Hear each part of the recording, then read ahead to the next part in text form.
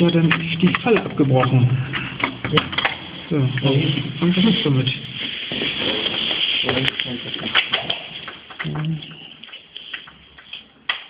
Sehen Sie mal die Zange? Die Zange, die da unten ist? Wir müssen gucken. Äh, wenn ich jetzt hier den Dings betätige. Naja, geht nicht mehr. Da ist, wenn ich jetzt hier drücke, dann geht, dann geht das auch nicht mehr auf. Da ist die, äh, im Schluss ist hier die, ähm, hier ist die Nuss Hm?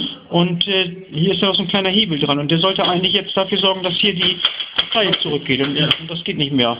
Ähm, ich baue da jetzt ein neues Schloss ein und dann müsste das wieder funktionieren. Okay. Kriegen Sie also ein neues Schloss, neuen Zylinder eben rein Ja. und dann den alten Beschlag schrauben wir wieder ran. Ja? Okay.